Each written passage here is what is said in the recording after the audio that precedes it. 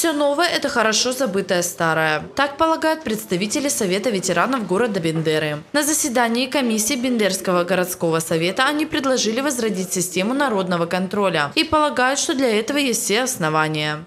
В ряде случаев в сфере обслуживания населения, торговли, автотранспорт и другие есть масса нарушений, которые ущемляют и честь, и достоинство, и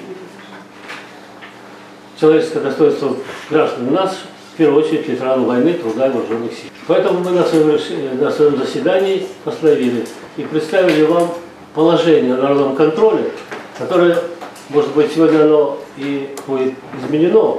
Я не претендую, мы не претендуем на то, чтобы в полном объеме, который представили, оно было утверждено. Но вот такой сам факт э, в городе народного контроля будет, я думаю, только положительно скажется на, многих, на решении многих вопросов.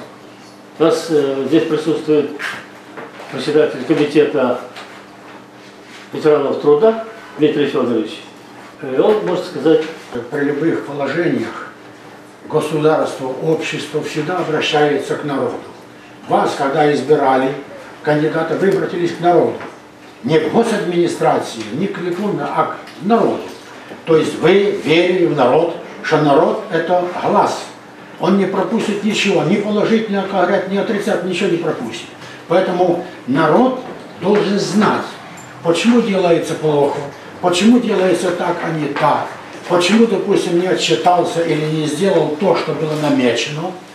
Почему я ссылаюсь на это? Потому что хотим мы, не хотим, а должностные лица, пусть они будут, говорят, честные и так далее и тому подобное, они зависимые от заработной платы.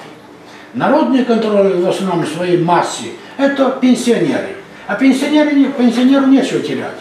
Народный контроль в то время это тоже был помощник руководителя.